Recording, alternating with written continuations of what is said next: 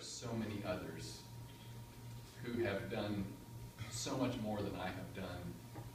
in the name of helping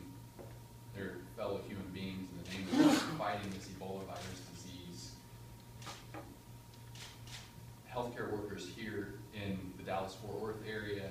and in Atlanta, and in Nebraska, and in New York City, and in Maryland, and healthcare workers from all over this country and all over the world who have put themselves at risk go to West Africa, to the source of this outbreak, and fight it,